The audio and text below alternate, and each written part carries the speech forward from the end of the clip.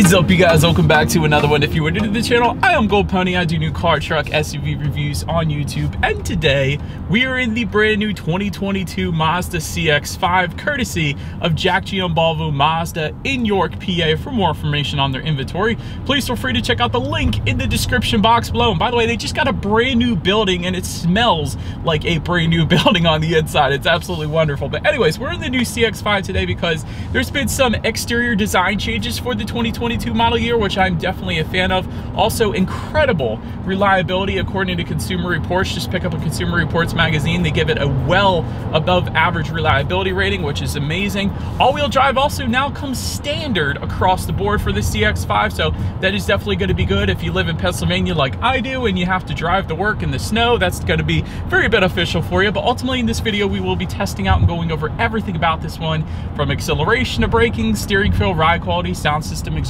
clip, all that fun stuff. So having said that, what do you guys say? Let's just go ahead and jump right into it. And as always, let's start with pricing it. So as you can imagine, there are an absolute ridiculous amount of trim levels available for the CX-5. First, you have the S starting at 25,900, the Select for 27,900, Preferred for 29,600, Carbon Edition for $30,720, Premium for 32,310, Premium Plus for 33,950, which by the way is the one we have today. And then you have the 2.5 Turbo for 36,400, and lastly, 2.5 Turbo Signature for $38,650. And so as you can imagine with all of these trim levels, there are actually two different engine configurations. First one belonging to all the non-turbo trim levels, that is a 2.5 liter direct injected inline four cylinder. And the one of course that we have today, 187 horsepower at 6,000 RPM, 186 pound-feet of torque coming in at 4,000 RPM, power sent to all four wheels through a six speed automatic with paddle shifters if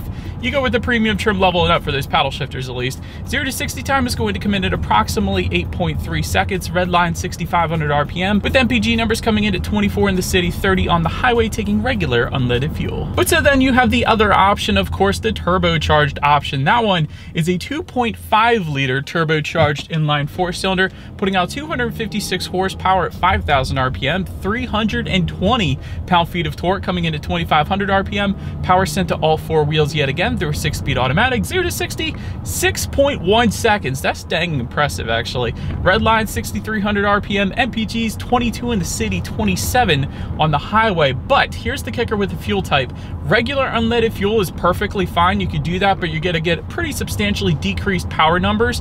But premium fuel is recommended for those power numbers that I just rambled off. So did want to put it that way. But anyways, before we do any kind of fun paddle shifter acceleration test here in our CX-5, I want to mentioned the drive modes. There's a little toggle switch looking thing just to the left of the shifter that's going to give you sport and off-road modes. Off-road only applies to the turbo engine option though. I'll just put it that way. But anyways, it's going to adjust things like the shift points and the throttle response. And now having got all of that out of the way, what do you guys say? Let's go ahead and put the paddle shifters here to the test and let's see how quickly they are going to react for us. And by the way, there is a full manual shift mode. You just simply slide the shifter all the way to the back and to the left. That is going to give me full control over the shifting. So let's just test out and see how quickly these paddle shifters are going to react for us here. All right, we got a red light here. So on green, we are going to test out the paddle shifters. Here we go. Okay. Ever so slight, ever so slight. And actually, better than normal. Typically when I test out paddle shifters in SUVs, there is 100% a delay. This isn't as bad as most, but there is a slight delay. It's not like BMW or Mercedes-Benz quick, but they're not bad, I gotta be honest. And typically in SUVs anyways, what you're gonna be using the paddle shifters for is to do a little bit of engine braking. Let's say it's snowing out and I'm going down this hill right now, rather than actually hitting the brakes and risk sliding off the road, I might do a little bit of downshifting with the paddle shifter. So let the engine do the braking so you're less likely to actually slide off the road. So that's really what they're gonna be there for in an SUV anyways. But I do like, like I said, I do like that they're there. But anyways, let's now go ahead and find yet another straightaway. Let's put the acceleration to the test here and let's see how quickly that zero to 60 in, what did I say, 8.2, 8.3 feels in our non-turbocharged engine that we have here today. All right, a little bit of a rolling start. Not bad though. It's actually not bad. I don't mind that. Honestly, it's kind of what I expected for this SUV, so you're not gonna have any issues in merging onto the highway. And you know one of the best parts, you guys? It's not a CVT. There's so many SUVs, so much competition to the CX-5, and they all use emotionless CVTs or continuously variable transmissions. But the six-speed automatic, it's dang refreshing because it actually gives you a little bit of driving emotion to that acceleration. So I give Mazda props for sticking with the six-speed automatic. It's definitely, honestly, a selling point for me. So I like it. Anyways, to go along with that acceleration, as always, braking is equally important. And so up front, you will find 11.7 inch ventilated front discs. In the back, 11.9 inch solid rear discs. And actually, did want to mention the turbocharged engine actually bumps up those front discs to 12.6 inch ventilated front disc. But as far as that 60 to 0 stopping distance goes, they just going to come in at 129 feet, which to be honest, is a little bit on the higher side of things. You do typically find 120s as far as that 60 to 0 stopping distance goes, but sometimes even 130s actually, but typically I like to be under 120 as far as that braking feel goes because it is a little bit on the softer side of things. It's not bad, it's something you get used to, but just a little bit on the softer side of things for this SUV. But so then touching on suspension and handling, up front you're gonna get a MacPherson strut front suspension, in the back independent multi-link rear suspension, front and rear stabilizer bars. As far as ride quality goes, that's been perfectly fine on my short test drive here today, so definitely not having any issues with the ride quality. It's absorbing Pennsylvania's road perfection's perfectly fine. As far as steering feel goes, that is the first thing I noticed when I got in the CX-5 and it's probably the main selling point for me personally, besides the stellar reliability, is the steering feel is on the heavy side, comparably speaking to all the competition for this SUV, which I love. Again, it's all about driving emotion with Mazda, and that is definitely the case with the CX-5. It's got a very nicely weighted steering feel. It's got the six-speed automatic. It's definitely a driver enthusiast SUV, I'll put it that way, which I love in this thing. So steering feel is definitely on the heavier side of things. It instantly puts you in the direction that you want to go. So big fan of that. As far as cabin noise goes, I am going about 10 miles per hour right now. So you guys are hearing absolutely nothing. But even when I was going a little faster, cabin noise is 100% on point as well. So no issues there. And actually for 2022, Mazda says there is a more rigid frame, which is said to improve noise levels. So that is another one of those new updates for 2022. And honestly, I could tell it was very quiet when I was on the highway there. So definitely no issues there, like I said. Then touching on visibility, I can see 100% perfectly fine out the back, and it is a kind of smaller SUV, so really shouldn't have any issues with that. Rain sensing windshield wipers, though, actually come standard across the board, meaning whenever this thing detects any kind of mist or rainfall, it's going to automatically turn on those windshield wipers for us. That is pretty darn cool. And there is a head-up display available for the Premium Plus trim level and up if you wanted to go that route as well. But that pretty much rounds out the performance segment of this review, you guys. Let's now go ahead and take a look at the exterior of our brand new 2022 Mazda CX-5. All right, you guys, so here she is, the new 2022 Mazda CX-5 finished in Soul Red Crystal Metallic. Pretty cool name for an exterior color of a vehicle. And actually, I do like it. It looks pretty darn good. But anyways, revised front fascia for the 2022 model year definitely looks good. Not that the older one looked bad, but I do like the slimmer look of the front headlights specifically. They definitely look pretty darn good up there. But speaking of, let's go ahead and start up front on the CX-5. Matte black front lip for all trims but the turbo signature because then it is going to be body colored of course. Of course you have some chrome trim surrounding the bottom portion of that front grille that looks pretty darn good as well. To the sides LED headlights do come standard. They of course come with the automatic feature as well along with automatic high beams meaning when you have your high beams on at night and it senses a vehicle coming in the opposite direction it's going to automatically dim them back to low beams then when that vehicle is gone it's going to bump that back up then to high beams so that is pretty nice. LED daytime running lights also coming standard like I said redesigned headlight housings for the better. I love the look of the slimmer LED headlights up front. They definitely look very good. Adaptive front lighting system though actually comes standard with the turbo trim levels, meaning when you're going around a bend at night, those headlights are going to swivel dependent upon the steering angle, better help illuminating what is around that bend so you're less likely to hit a deer or a possum or a snail or whatever it is. So that is pretty darn good as well. But anyways, pretty much rounds out the front end of this one. Let's now go ahead and make our way to the side of this CX-5. Let's open now since we are around to the side of the CX-5. No roof rails are going to come standard. However, they are optional if you wanted to go that route. So I wanted to specify that. Rear privacy glass does come standard across the board. That looks good. Body colored power adjustable side mirrors coming standard with LED integrated turn signals. And if you were to go with one of the turbo trim levels, you will also get power folding side mirrors then as well. Then take a look down at the wheel setup. 17 by 7 inch aluminum alloys for the S, Select, and preferred trim levels, 19 by 7 inch black alloys for the Carbon Edition Premium, Premium Plus, and Turbo. And then you got 19 by 7 inch silver aluminum alloys for the Turbo Signature. But again, that pretty much rounds out this side. I do like the chrome beltline molding found on the side here as well, so definitely looks good. But now let's go ahead and make our way to the back of the CX-5. All right, so now since we are around to the back of this one, body colored shark fin antenna found all the way to the top. Just below that rear spoiler with an integrated brake light. Just below that rear window wiper, LED tail lights coming standard for every single trim level across the board. And again, a slight redesign for those tail light housing. So that definitely looks good. Of course, you got the CX-5 and all-wheel drive badging back there. Just below it all, you will find some matte black accents on the lower portion of that rear bumper. And to the sides, dual exhaust outlets with chrome tips. So having said that, I do believe you guys know what we have to do next. As always, here is that exhaust clip.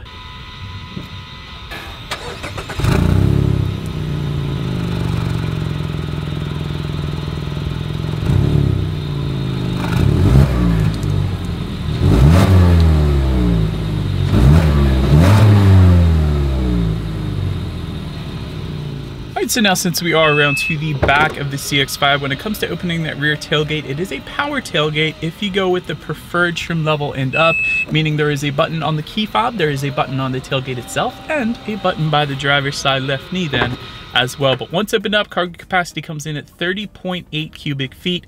If that was not enough space, there is a 40-20-40 split, meaning the rear seats do fold down, bumping that up to 59.3 cubic feet. Of course, there is some cargo lighting found in that cargo area as expected. There's actually a 12 volt power outlet back there then as well. And then if you were to lift up underneath of that cargo floor, you will find a spare tire, which I personally prefer over the Fix-A-Flat as well, which is pretty cool. But then making our way up to the rear legroom, that is going to come in at 39.6 inches. So for reference, I'm even six feet tall. This is how much space I had back there.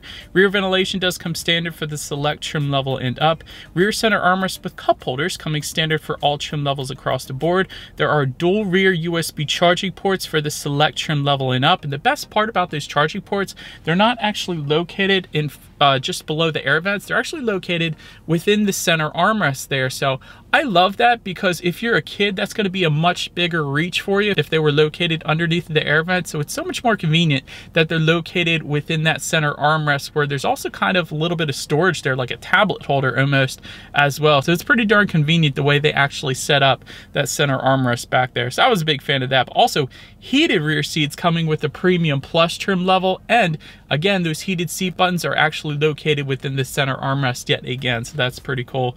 Anyways, then make our way up to the front seats, manually adjustable cloth seating coming with the S, leatherette suede combo coming with the Select, leather seating coming with the preferred trim level and up, heated front seats for the Select trim level and up, six-way power driver seat for the Select, eight-way power driver seat with power lumbar coming with the preferred trim level and up, six-way power adjustable passenger seat with the preferred trim level and up, and ventilated front seats for the premium plus and turbo trim levels. And overall, seating was plenty comfortable. You could easily go on a long road trip here in the CX-5. Anyways, then take a look, at the steering wheel, it is tilt and telescoping. It is leather wrapped for all trim levels and then heated for the premium plus trim level and the turbo trim levels then as well. So no issues there. Then make our way to the startup. Let me start by showing you guys the key. You do have your Mazda logo on the one side. Then looking at the side, you actually have lock, unlock, and that button to pop the rear hatch. All of your buttons are actually on the side of the key there, but it is all keyless entry with a push button start. So all I'm going to do here is simply put my foot on the brake and press that engine start button located just by the driver's right knee. And so, but then upon startup, tachometer is all the way to your left, speedometer is front and center. By the way, there is going to be a larger 7-inch LCD display if you were to go with one of the turbo trim levels. Obviously, we don't have that today, but still, overall, pretty much everything you could possibly want up there. You do have how many miles you have left until you hit empty. That's going to be located immediately to the right of that center speedometer. And of course, if you press the info button on the left side of the steering wheel, you can adjust what is located within that center speedometer as well. So a bunch of different options there since that is the digital portion of the gauges after all. But overall, when it comes to interior quality now, power moonroof coming with the preferred trim level and up. So we do have that today. That's pretty cool. Overhead sunglass holder coming standard for all trim levels.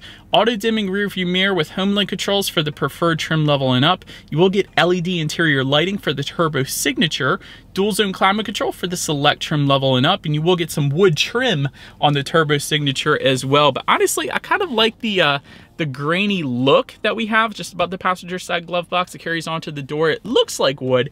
It's not real wood, it is plastic, but it looks good. I'll say that. A lot of soft touch material as well. Just in front of the shifter, you have a decent amount of rubberized storage along with a 12 volt power outlet. Behind the shifter, you have an electromechanical parking brake, dual cup holders, and a decent amount of storage within the center armrest, along with a 12 volt power outlet and two USB charging ports then as well. So overall, interior quality is perfectly fine. It certainly gets the job done. So then taking a look at the infotainment screen, there is a 10 and a quarter inch screen that comes standard across the board. It is not touchscreen. The way you control it is you use the circular dial and buttons located directly behind the shifter, which kind of is more convenient anyways when you're driving. You don't want to be reaching that far and taking your eyes off the road. But anyways, Bluetooth and audio streaming do come standard Android Auto, Apple CarPlay, factory navigation system for the turbo signature trim level. You can also find some driving statistics up there if you wanted to. And of course, your radio information as well. And so when it comes to the sound systems, there are three of them actually. You will get four speakers for the S trim level,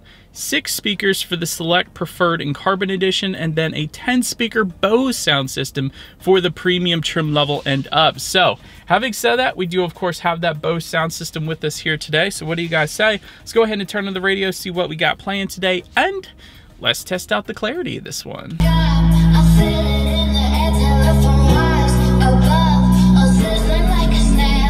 Guys, honestly, that sound system was amazing. I wish I had that Bose sound system in my own car because that was wonderful. The bass was intense, clarity was crystal clear. Quite honestly, for the CX-5, it's absolutely perfect. And I've had Bose sound systems in my cars before. They've never failed me. Bose is a very reputable company, so they're definitely there for reliability and they're long lasting. So that was an amazing sound system for the CX-5. But anyways, last thing I wanted to mention to you guys on the infotainment screen is when you do put the CX-5 in reverse, you will find a rear view camera coming standard standard across the board. And if you were to go with the Turbo Signature, you're also going to get a 360 degree monitor as well, which is always is going to lead us into safety. And so IIHS Top Safety Pick Plus, first thing I wanted to mention because that pretty much says it all right there. That's the very highest rating given out by IIHS. Front side side curtain airbags do come standard. In the back, you're gonna have latch, AKA lower anchors and tethers for children for the rear car seats, rear child door locks, tire pressure monitoring system, but also coming standard for all trim levels across the board will be hill start assist,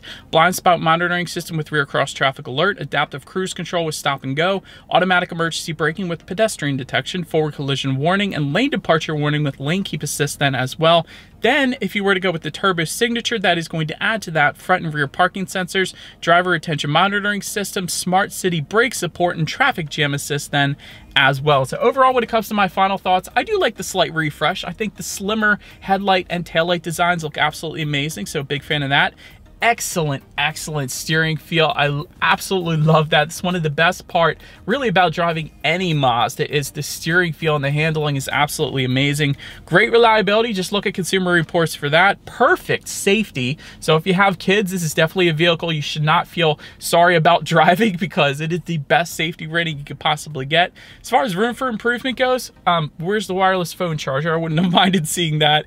Full digital gauge cluster, of course, would be pretty darn sweet as well. And it doesn't have as much space as some of the competitors. So that's really the main drawback, I guess you could say, for the CX-5 is the overall space. But overall, I was definitely a big fan. Let me know what you guys think of the new CX-5 in the comments section below. That is about it for this one, you guys. Thank you so much for watching. Feel free to follow me on social media at the bottom of the screen if you want to see what's coming next on the channel before it actually gets to YouTube. Be sure to hit the subscribe and the bell notification button if you're into new car reviews. That is what we do here on this channel after all. Feel free to pick up some merch just below the video. If you do and you post a picture of you wearing the merch on either Instagram or Twitter, I'm going to automatically follow you. So whenever you guys support the channel, I am so appreciative, let me tell you. But anyways, do appreciate you guys watching more than you know, and I will see you guys all in the next video. Stay gold.